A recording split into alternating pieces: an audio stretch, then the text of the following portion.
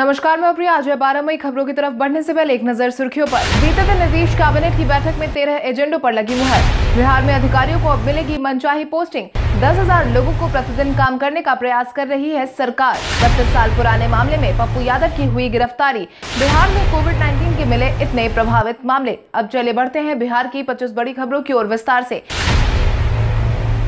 बीते दिन नीतीश कैबिनेट की बैठक में तेरह एजेंडों पर लगी मुहर मुख्यमंत्री नीतीश कुमार की अध्यक्षता में बीते दिन कैबिनेट बैठक का आयोजन करवाया गया था जहां पर कुल मिलाकर तेरह एजेंडों पर मुहर लगा दी गई है जिसके तहत कोरोना काल में नीतीश सरकार ने लगभग पौने तीन लाख शिक्षकों के वेतन भुगतान की मंजूरी दे दी है इसके अलावा कोविड टीकाकरण को लेकर एक हजार करोड़ रुपए जारी कर दिए हैं इसके साथ ही नीतीश सरकार ने गांव गांव में एम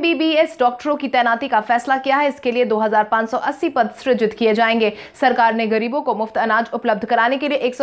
करोड़ की मंजूरी दे दी है सरकार ने ग्रामीण क्षेत्रों में एम्बुलेंस की सेवा देने के लिए हर प्रखंड में दो दो एम्बुलेंस की खरीदारी को मंजूरी दे दी है सरकार ने बिहार नगर कल्याण एवं निबंधन संवर्ग नियमावली इक्कीस बिहार पालिका नगर योजना पर्यवेक्षक संवर्ग नियमावली इक्कीस बिहार पालिका राजस्व एवं लेखा संवर्ग नियमावली इक्कीस बिहार लोक स्वच्छता एवं अपविष्ट प्रबंधन संवर्ग नियमावली 2021 और बिहार नगर पालिका लिपकीय नियमावली 2021 की मंजूरी दे दी है बिहार में कोविड 19 के मिले 10,000 से ज्यादा मामले स्वास्थ्य विभाग की तरफ से मिली जानकारी के अनुसार बिहार में बीते दिन के पिछले 24 घंटे में 10,920 मरीजों की पुष्टि हुई है जिसके बाद एक्टिव मरीजों की संख्या एक लाख दो हजार निन्यानवे पर पहुंच गई है वहीं प्रभावित जिलों की बात करें तो अररिया में एक अरवल में एक औरंगाबाद में चार बांका में तिरपन बेगूसराय में पांच भागलपुर में एक भोजपुर में संतानवे बक्सर में छियालीस दरभंगा में एक ईस्ट चंपारण में चार गया में चार गोपालगंज में तीन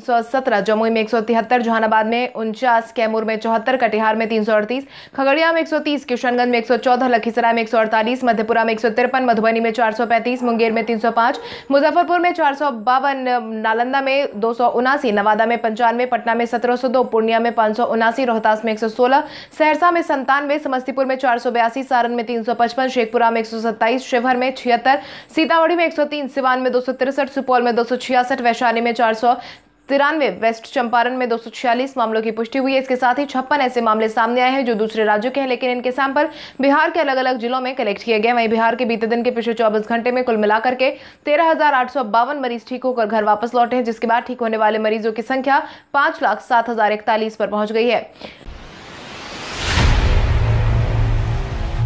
बत्तीस साल पुराने मामले में पप्पू यादव की हुई गिरफ्तारी लॉकडाउन उल्लंघन मामले के बाद जहां प्रमुख पप्पू यादव को बत्तीस साल पुराने मामले को लेकर बीते दिन गिरफ्तार किया गया है जिसके बाद उन्हें बीती शाम को मधेपुरा भेज दिया गया मधेपुरा के कुमार खंड थाना के कांड संख्या नौ स्लैश नवासी के तहत अपहरण का मुकदमा दायर किया गया था जिसके तहत कोर्ट ने वारंट जारी किया था ये समन 22 मार्च 2021 में न्यायालय द्वारा जारी की गई थी इस मामले में पप्पू यादव फरार थे उन्होंने अब तक बेल नहीं ली थी इस बीच यहाँ पप्पू के समर्थकों ने नीतीश कुमार का पुतला दहन किया आम लोगों में भी काफी नाराजगी देखने को मिली वही मधेपुरा ले जाते जाते मीडिया से बातचीत करते हुए पप्पू यादव ने कहा लालू जी से मैं एक अपील करना चाहता हूं कि यह समय सेवा करने का है अभी लोगों को एक साथ एकजुट होकर काम करने का है उन्होंने तेजस्वी यादव से अपील करते हुए कहा कि वे सड़कों पर उतरे और लोगों की सेवा करें एसबीआई में क्लर्क के पद पर आवेदन के लिए आपके पास है आखिरी मौका एसबीआई में क्लर्क के कुल मिलाकर के पांच पद पर आवेदन की मांग की गई है एसबीआई में जूनियर एसोसिएट जे पदों की भर्ती में अभी आवेदन के लिए एक सप्ताह का मौका है इस भर्ती में आवेदन करने के इच्छुक अभ्यर्थी एसबीआई की वेबसाइट एस को डॉट पर जाकर आवेदन भर सकते हैं इस भर्ती के लिए एसबीआई ने सत्ताईस अप्रैल 2021 को आवेदन प्रक्रिया शुरू की थी और आवेदन की अंतिम तारीख सत्रह मई 2021 है आपकी जानकारी के लिए आपको बता दें कि एसबीआई भर्ती 2021 में आवेदन के लिए अभ्यर्थियों को पहले एसबीआई की वेबसाइट पर खुद को रजिस्टर करना होगा बिहार में चार लाख कोरोना वैक्सीन डोज हो गई बर्बाद कोविड 19 के बढ़ते माहौल के बीच जहां वैक्सीनेशन की प्रक्रिया को जोर शोर से बढ़ाने की अपील की जा रही वहीं बिहार में बड़ी लापरवाही सामने आई है खबरों की माने तो बिहार में चार लाख डोज वैक्सीन की बर्बाद हो गई है केंद्रीय स्वास्थ्य मंत्रालय द्वारा मंगलवार को देश के दस राज्यों में कोरोना वैक्सीन डोज की बर्बादी की रिपोर्ट जारी की गई है जिसमें बताया गया है कि बिहार में भेजे गए कोरोना वैक्सीन के पांच दशमलव दो शून्य फीसदी डोज बर्बाद हो गए हैं रिपोर्ट में बताया गया है कि बिहार की आबादी कुल बारह करोड़ तेईस लाख चार हजार एक सौ है बिहार को 45 वर्ष से ऊपर की उम्र वालों को टीकाकरण के लिए कुल सतासी लाख पैंसठ हजार आठ सौ बीस कोरोना वैक्सीन के डोज भेजे गए थे इसमें से कुल वैक्सीन के बयासी लाख उनचालीस हजार चार सौ चौहत्तर डोज का खपत हो चुका है खपत होने वाले वैक्सीन डोज में चार लाख पचपन हजार आठ सौ बाईस डोज का नुकसान हो गया है स्कूल कॉलेज में टीकाकरण शुरू करने के लिए मनोज कुमार ने दिए जरूरी दिशा निर्देश बिहार में कोविड 19 के लगातार बढ़ रहे मामलों के बीच टीकाकरण अभियान को तेजी से किए जाने की तैयारी हो रही है इसी बीच अब स्कूल कॉलेज परिसर को टीकाकरण अभियान के लिए इस्तेमाल करने की बात कही जा रही है इस संबंध में राज्य स्वास्थ्य समिति के कार्यपालक निदेशक मनोज कुमार ने पत्र जारी कर आवश्यक दिशा निर्देश जारी किया है जारी पत्र में कहा गया है कि कोविड नाइन्टीन वैश्विक महामारी से सुरक्षा प्रदान करने के उद्देश्य से अठारह से चौवालीस साल आयु वर्ग के सभी लाभार्थियों का सरकारी स्वास्थ्य संस्थानों में निःशुल्क निःशुल्क टीकाकरण कराया जा रहा है इस आयु वर्ग के लाभार्थियों की अत्यधिक संख्या को देखते हुए टीकाकरण सत्र स्थल को कोविड नाइन्टीन की जाँच एवं उपचार किए जा रहे स्वास्थ्य संस्थान परिसर से अलग रखे जाने का निर्णय लिया गया है टीकाकरण सेंटर पर लाभार्थियों के वेटिंग रूम अवलोकन रूम और बैठने के लिए कुर्सी पीने के पानी आदि की पर्याप्त मात्रा में उपलब्धता सुनिश्चित की जाएगी दिल्ली से पटना पहुंचा 147 ऑक्सीजन कंसंट्रेटर कोरोना की दूसरी लहर के कारण बिहार की स्वास्थ्य व्यवस्था पूरी तरीके से चरमरा गई है इसी बीच बिहार को बीते दिन खुशखबरी मिली है जिसके तहत बीते दिन की सुबह 147 ऑक्सीजन कंसंट्रेटर पटना एयरपोर्ट पहुंचा दिए गए हैं ऑक्सीजन कंसंट्रेटर को वायुसेना की स्पेशल एयरक्राफ्ट से दिल्ली से पटना लाया गया है पटना एयरपोर्ट पर विमान के पहुंचते ही बहुत सावधानी के साथ एक एक करके सारे नए ऑक्सीजन कंसंट्रेटर को उतारा गया है फिर उसे बिहार सरकार के बताए जगह पर भेज अलग अलग गाड़ियों में लोड कर पहुंचा दिया गया है सभी शिक्षकों को वेब पोर्टल पर करना होगा अपने दस्तावेज को सबमिट बिहार में फर्जी प्रमाण पत्र पर बहाली शिक्षक को हटाने के लिए सरकार के सभी कदम वर्तमान समय में फेल नजर आ रहे हैं जिसके बाद शिक्षा विभाग ने इस मामले को लेकर एक नया रास्ता निकाला है जिसके तहत अब सभी शिक्षकों के दस्तावेज को जमा करने के लिए वेब पोर्टल जारी किया गया है जिसके परिणाम स्वरूप उसी पर सभी शिक्षकों का प्रमाण पत्र अपलोड करना है जो शिक्षक अपना प्रमाण पत्र अपलोड नहीं करवाएंगे वो पहली नजर में ही फर्जी प्रमाणित होंगे और उन पर कार्रवाई होगी पोर्टल पर अपलोड होने के बाद निगरानी ब्यूरो इसकी जांच करेगी जांच के बाद फर्जी प्रमाण पत्र पाए जाने पर वैसे शिक्षकों पर एक्शन होगा शिक्षा विभाग ने सभी डीईओ को आदेश दिया है कि प्रमाण पत्र उपलब्ध नहीं कराने वाले शिक्षकों की सूची सत्रह मई तक दे बिहार में अधिकारियों को अब मिलेगी मनचाही पोस्टिंग बिहार में अधिकारियों को अब मनचाही पोस्टिंग सरकार देने की तैयारी कर रही है इसके लिए अधिकारियों को हालांकि कुछ पैरामीटर पर अपने आप को साबित करना होगा काम का मूल्यांकन परि मार्जिन म्यूटेशन इसके साथ ही भूमि स्वामित्व प्रमाण पत्र मापी लोक भूमि अतिक्रमण जल निकाय अतिक्रमण मुक्ति अभियान एवं अभियान बसेरा में सीओ की सक्रियता के आधार पर किया गया है आपको बता दें मंत्री के आदेश के बाद विभाग ने सभी पांच सीओ के कामकाज का मूल्यांकन किया है कोरोना के चलते विभाग लगभग बंद है इसीलिए सूची पर विचार करने का प्रस्ताव प्रस्ताव मंत्री के पास नहीं भेजा गया है वहीं सूची के टॉप पच्चीस सीओ e के उस सदर अंचलों में तैनाती मिलने की संभावना जताई गई है हालांकि खराब काम करने वालों के खिलाफ कार्रवाई भी हो सकती है आज बिहारी पहचान में हम बात करेंगे चंद्रावती देवी की चंद्रावती देवी का जन्म उन्नीस अक्टूबर 1909 को बिहार के एक जिले में हुआ था एक भारतीय अभिनेत्री थी जो हिंदी में बंगाली सिनेमा के रूप में दिखाई दे चुकी थी वो 1935 के पंथ क्लासिक देवदास में चंद्रमुखी के रूप में अपनी भूमिका के लिए जानी जाती है उन्नीस की मूक फिल्म पियारी में चंद्रवती देवी में अपनी फिल्मी डेब्यू भी वो कर चुकी है और की बोस की संस्कृत क्लासिक मीराबाई में मीरा की भूमिका के बाद उन्हें स्टार्टम के लिए मना लिया गया अमीर रत्न प्राण ठाकुर रामकृष्ण रोडन भरा बसंता काहिनी और काहिनी अग्नि भमर अमी सिराज बेगम विज्ञान ओ विधाता छिन पात्र नया मिथशिल जीवन जिज्ञासा अटार दिन पारे फरियाद जैसी फिल्मों में उन्होंने काम किया है दस हजार लोगों को प्रतिदिन काम देने का प्रयास कर रही है सरकार कोविड नाइन्टीन के लगातार बढ़ रहे मामलों के बीच भारी संख्या में मजदूरों की वापसी एक बार फिर से बिहार में देखने को मिली है वहीं इस बार सरकार वापस लौटे मजदूरों को काम देने की पूरी कोशिश कर रही है जिसके तहत ही निर्माण कार्य से जुड़े काम में लगभग दस लोगों को काम देने की तैयारी सरकार कर रही है ग्रामीण कार्य विभाग के सचिव पंकज कुमार पाल ने बताया कि राज्य में करीब इक्कीस किलोमीटर सड़कों का निर्माण कार्य चल रहा है इसमें प्रतिदिन दस लोग काम कर सकेंगे वहीं पिछले साल कोरोना महामारी के कारण लंबित कामों का निष्पादन करने के लिए पंद्रह दिनों का वक्त बढ़ा दिया गया है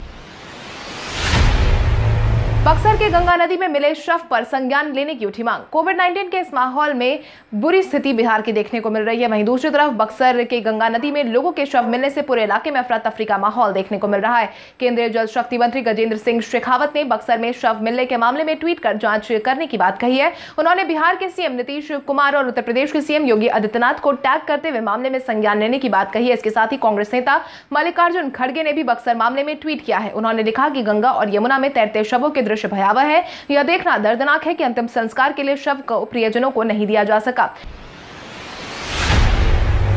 बिहार के प्रख्यात कार्डियोलॉजिस्ट डॉक्टर प्रभात कुमार हैदराबाद किए गए रेफर देश के जाने माने कार्डियोलॉजिस्ट डॉक्टर प्रभात कुमार पिछले कई दिनों से कोरोना से प्रभावित थे जिसके बाद उनकी स्थिति अब काफी ज्यादा नाजुक हो गई है जिसके बाद देर रात बेहतर इलाज के लिए एयर एम्बुलेंस से उन्हें वेंटिलेटर युक्त विशेष लाइफ सपोर्ट सिस्टम पर हैदराबाद ले जाया गया जानकारी के अनुसार हैदराबाद में डॉक्टरों की टीम डॉक्टर प्रभात कुमार के फेफड़े का ट्रांसप्लांट करने पर काम कर रही है क्योंकि उनका फेफड़ा बहुत ज्यादा संक्रमित हो चुका है उन्हें विशेष लाइफ सपोर्ट सिस्टम पर रखा गया है आपकी जानकारी के लिए आपको बता दें कोरोना से बिहार के दो और कार्डियोलॉजिस्ट की हालत नाजुक बनी हुई है पीएमसीएच कैंपस में स्थित इंदिरा गांधी हृदय रोग संस्थान में कार्डियोलॉजिस्ट रहे डॉक्टर राधा शरण पिछले पंद्रह दिनों से कोरोना की चपेट में है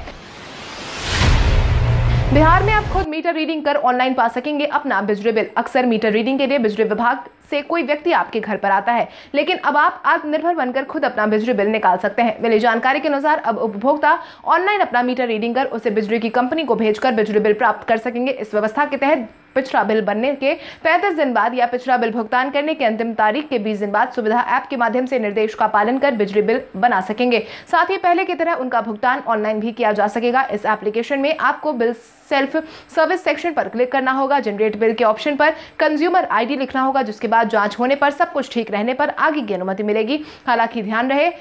सही विकल्प पर क्लिक कर मीटर रीडिंग सहित उसका फोटो खींचकर सबमिट करना होगा सब कुछ सही रहने पर रिक्वेस्ट नंबर जनरेट हो जाएगा जिससे भविष्य के लिए भी संभाल कर रखना आवश्यक होगा ईद को लेकर 14 मई को रहेंगे बैंक बंद सभी आम नागरिकों को अहम सूचना अगर आपको बैंक से संबंधित कोई काम है तो आपको हिदायत है कि आप तेरह मई से पहले अपने सभी काम को निपटा लें क्योंकि चौदह मई को ईद पर बैंक बंद रहेंगे पंद्रह को बैंक खुलेंगे लेकिन सोलह मई को रविवार का अवकाश रहेगा इस महीने बैंकों में साप्ताहिक और अन्य छुट्टियां मिलाकर कुल नौ अवकाश है एक मई को मजदूर दिवस पर बैंक बंद थे चौदह मई को ईद पर बैंकों में अवकाश रहेगा बाईस मई को महीने का चौथा शनिवार होने की वजह से बैंक बंद रहेंगे all India bank officers association के संयुक्त सचिव डी त्रिवेदी ने कहा कि आमतौर पर हर महीने चार रविवार और दो शनिवार को अवकाश रहता है इस तरह से हर महीने छह दिन बैंक बंद रहते हैं इस महीने दो अतिरिक्त अवकाश और पांच रविवार होने की वजह से तीन दिन अवकाश बढ़ गया है जा प्रमुख पप्पू यादव की गिरफ्तारी को लेकर शुरू हुई राजनीति बीते दिन राजधानी पटना के गांधी मैदान में जा प्रमुख पप्पू यादव को पुलिस ने गिरफ्तार कर लिया जिसके बाद से ही राजनीति शुरू हो गई है जिसके तहत हम पार्टी के राष्ट्रीय अध्यक्ष जीतन राम मांझी ने ट्विटर पर लिखा कि कोई जनप्रतिनिधि अगर दिन रात जनता की सेवा करे और उसके एवज में उसे गिरफ्तार कर लिया जाए ऐसी घटना मानवता के लिए खतरनाक है वही नीतीश सरकार के मंत्री और विकासशील पार्टी के राष्ट्रीय अध्यक्ष मुकेश सहनी ने पप्पू यादव की गिरफ्तारी प्रकरण में अपने ट्विटर हैंडल पर लिखा कि जनता की सेवा के धर्म होना चाहिए सरकार को जनप्रतिनिधि सामाजिक संस्था इंसान एवं कार्यकर्ता को आमजन की मदद के लिए प्रेरित करना चाहिए जनप्रतिनिधि को भी कोरोना गाइडलाइन का सख्ती से पालन करते हुए कार्य करना चाहिए ऐसे समय में सेवा में लगे पप्पू यादव को गिरफ्तार करना असंवेदनशील है भारत के इतिहास में आज की तारीख कई कारणों से दर्ज भारत के इतिहास में आज की गिरफ्तारी कई कारणों से महत्वपूर्ण मानी जाती है जोधपुर की स्थापना चौदह में आज के दिन हुई पुर, पुरंदर की संधि के तहत छत्रपति शिवाजी महाराज औरंगजेब से मिलने सोलह में आगरा आज के दिन पहुंचे जोधपुर की स्थापना चौदह में आज ही के दिन हुई पश्चिम बंगाल के इक्कीसवे राज्यपाल बीरेन्द्र जय शाह का जन्म उन्नीस में आज के दिन हुआ भारत के सैंतीसवें मुख्य न्यायाधीश के जी बालाकृष्ण का जन्म उन्नीस में आज के दिन हुआ हिंदी कवि शमशेर बहादुर सिंह ने दुनिया को अलविदा उन्नीस में आज के दिन कहा आज ही के दिन को अंतर्राष्ट्रीय नर्स दिवस के रूप में मनाया जाता है स्वास्थ्य कर्मियों की 50 लाख के बीमा की अवधि बढ़ी छह महीने आगे केंद्र सरकार ने प्रधानमंत्री गरीब कल्याण पैकेज योजना insurance for the health worker fighting with Covid 19 के तहत स्वास्थ्य कर्मियों को 50 लाख रुपए का बीमा किया है इस बीमा की पॉलिसी 30 मार्च 2020 से 24 मार्च 2021 तक के लिए थी हालांकि केंद्र सरकार के नए आदेश के बाद इसे हाल ही में बढ़ाकर चौबीस मार्च इक्कीस से चौबीस अप्रैल दो तक किया गया है वहीं अब बीमा की अवधि एक दिन के लिए बढ़ा दी गई है जिसके परिणाम स्वरूप कोविड नाइन्टीन के इस माहौल में अब जो भी स्वास्थ्यकर्मी की जान जाती है उनके परिजनों को पचास लाख रुपए की आर्थिक सहायता दी जाएगी स्वास्थ्य विभाग ने इस संबंध में सभी जिलों और सभी मेडिकल कॉलेज अस्पतालों और अन्य स्वास्थ्य संस्थानों के प्रचारों और अधीक्षक को इसकी जानकारी दे दी है भारत की मदद के लिए अब ट्विटर ने आगे बढ़ाया अपना हाथ कोविड नाइन्टीन के इस माहौल में भारत को लगातार अलग अलग प्लेटफॉर्म से मदद मिल रही है इसी कड़ी में अब इसमें ट्विटर का नाम भी जुड़ गया है माइक्रो ब्लॉगिंग साइट ट्विटर ने कोविड नाइन्टीन में भारत को पंद्रह मिलियन डॉलर यानी कि लगभग एक करोड़ रुपए डोनेशन देने की बात कही है Twitter CEO Jack Patrick Dorsey ने इसको लेकर एक ट्वीट भी किया है जैक ने बताया है कि पैसे तीन नॉन गवर्नमेंट ऑर्गेनाइजेशन को दिए जाएंगे इसमें केयर एड इंडिया और सेवा इंटरनेशनल यूएसए संस्थान शामिल है जिसके तहत अब इस फंड से वैक्सीन गांव और दूर के क्षेत्र में भी लेने जाने में मदद की जाएगी इससे सभी कम्युनिटी के लोगों को वैक्सीन देने में भी मदद मिलेगी जुलाई में तीन वनडे और तीन टी ट्वेंटी मैच खेलेगी टीम इंडिया भारत जल्द ही श्रीलंका दौरे पर निकलने वाली है जिसके तहत जुलाई महीने में तीन वनडे और तीन टी ट्वेंटी मैच खेलने वाली है इस बारे में जानकारी देते हुए भारतीय क्रिकेट बोर्ड के अध्यक्ष सौरभ गांगुली ने रविवार को बताया कि भारतीय टीम शीर्ष खिलाड़ियों के बिना जुलाई में सीमित ओवरों की सीरीज के लिए श्रीलंका का दौरा करेगी श्रीलंका में कप्तान विराट कोहली सीमित ओवरों में उप रोहित शर्मा इसका हिस्सा नहीं होंगे क्योंकि वो उस समय इंग्लैंड के खिलाफ पांच मैचों की टेस्ट सीरीज की तैयारी कर रहे होंगे गांगुली ने कहा कि हमने जुलाई के महीने में सीनियर पुरुष टीम के लिए सीमित ओवर की सीरीज की योजना बनाई है जहां वो श्रीलंका में टी ट्वेंटी अंतर्राष्ट्रीय और एक दिवसीय मैच खेलेंगे कोविड 19 के बढ़ रहे मामलों के बीच चमकी बुखार के बढ़े केसेस कोविड 19 के बढ़ रहे मामलों के बीच चमकी बुखार के मामलों में वृद्धि देखने को मिल रही है जानकारी के अनुसार मंगलवार को एसकेएमसीएच में चमकी बुखार के लक्षण वाले दो बच्चे में एईएस e की पुष्टि हुई है वहीं अब तक इस साल सोलह बच्चों में एईएस e की पुष्टि हो चुकी है जिसमें से दो बच्चों की जान भी जा चुकी है दस बच्चे एसकेएमसीएच के पीकू वार्ड से ठीक होकर घर वापस लौट चुके हैं वहीं पीकू वार्ड में दो बच्चे एईएस e पुष्टि वाले भर्ती है जिनका इलाज चल रहा है चमकी बुखार के लक्षण वाला एक बच्चा सस्पेक्टेड भर्ती है कोविड 19 के बढ़ते माहौल के बीच स्वास्थ्य मंत्रालय ने जारी की नई गाइडलाइन कोविड 19 के लगातार बढ़ रहे माहौल के बीच स्वास्थ्य मंत्रालय ने बीते दिन नई गाइडलाइन जारी कर दी है जिसके तहत स्वास्थ्य मंत्रालय ने यह स्पष्ट किया है कि एक से दूसरे राज्य के लिए कोरोना के आरटीपीसीआर टेस्ट की जरूरत नहीं है स्वास्थ्य मंत्रालय की तरफ से यह भी कहा गया है कोरोना के मामले अट्ठारह राज्यों और केंद्र शासित प्रदेशों में घटे हैं वहीं तेरह राज्यों में एक लाख से अधिक कोरोना के एक्टिव केस है टीकाकरण को लेकर कमिश्नर ने दिए कई बिंदुओं पर निर्देश बीते दिन कमिश्नर संजय कुमार अग्रवाल ने प्रमंडल के सभी जिलाधिकारी के साथ कोविड नाइन्टीन संक्रमण की रोकथाम एवं बचाव बचाव हेतु वीडियो कॉन्फ्रेंसिंग के माध्यम से बैठक की जहां उन्होंने जरूरी दिशा निर्देश दिए बैठक में टीकाकरण टेस्टिंग कोविड अस्पतालों में इलाज की व्यवस्था निजी अस्पताल निजी एम्बुलेंस के निर्धारित सरकारी दर का अनुपालन लॉकडाउन का अनुपालन सहित कई अन्य बिंदुओं की समीक्षा जिलावार सभी जिलाधिकारियों से की गई इसके साथ ही बैठक में सभी जिलाधिकारियों को कोविड अस्पताल का नियमित निरीक्षण निगरानी एवं अनुश्रवण करने का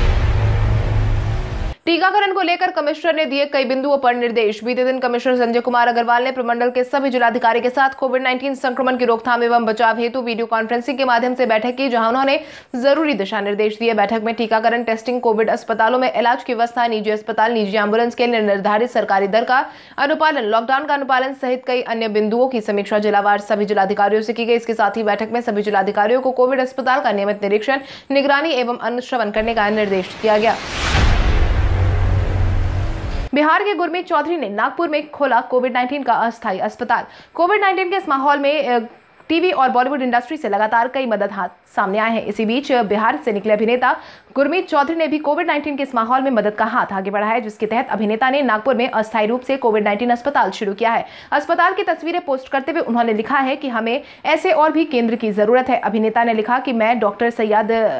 तली और टीम के सहयोग से नागपुर में एक समर्पित मेक शिफ्ट कोविड केयर अस्पताल के शुभारंभ की घोषणा करके खुश हूँ चौधरी ने बताया कि वो कोविड अस्पताल एच टाउन पर दी नागपुर में स्थित और कोविड पीड़ितों के कल्याण कल्याण के लिए काम करेगा इससे पहले गुरमीत चौधरी ने राजधानी पटना में भी एक कोविड नाइन्टीन अस्पताल खोलने का ऐलान किया था अब आइए जानते हैं सराफा बाजार पेट्रोल डीजल के क्या थे भाव अगर हम सराफा बाजार की बात करें तो सोने का भाव 11 मई को 22 कैरेट के लिए प्रति दस ग्राम चौवालीस हजार नौ सौ दस रुपए था वहीं 24 कैरेट के लिए प्रति दस ग्राम पैंतालीस हजार नौ सौ दस रुपए था इसके साथ ही अगर हम चांदी की बात करें तो चांदी का भाव प्रति किलो इकहत्तर हजार छह सौ रुपए था इसके साथ ही राजधानी पटना में पेट्रोल की कीमत बानवे दशमलव पांच तीन रुपए प्रति लीटर वहीं डीजल पचासी दशमलव तीन दो रुपए प्रति लीटर था कल हमारे द्वारा पूछे गए सवाल का जवाब आप में से बहुत सारे यूजर ने हमें कमेंट करके दिया था उसके लिए आपका बहुत बहुत धन्यवाद आप में से जिन यूजर का कमेंट हमें अच्छा लगा है उनके नाम है इंद्रदेव प्रसाद रविंद्र महेंद्र पासवान असलम राज गुनगुन कुमार अमित तिवारी सतीश मिश्रा रोशन कुमार कुमार राजू बलंदर कुमार शत्रुघ्न प्रसाद सिंधु कुमारी मंजू देवी राकेश यादव मोहम्मद सलीम पवन दिलराज मिथुन कुमार लक्ष्मण कुमार इसके अलावा हमारी टीम को और भी लोगों के जवाब अच्छे लगे हैं मगर समय के अभाव के कारण हम उनका नाम नहीं ले पाए लेकिन आप हमारे सवालों का जवाब देते रहे हम कल आपका नाम लेने की पूरी कोशिश करेंगे तो चले बढ़ते हैं आज के सवाल की और आज का सवाल कुछ इस प्रकार है आपके अनुसार कोविड नाइन्टीन के रोकथाम में बिहार सरकार की तरफ से किए जा रहे प्रयासों से आप संतुष्ट है या नहीं अपने जवाब हमें कॉमेंट करके जरूर बताएं इसके साथ ही आज के लिए बस इतना ही बिहार की बड़ी खबरों से अपडेटेड रहने के लिए हमारे यूट्यूब चैनल को सब्सक्राइब करें और बेलाइकॉन दोबारा ना भूलें धन्यवाद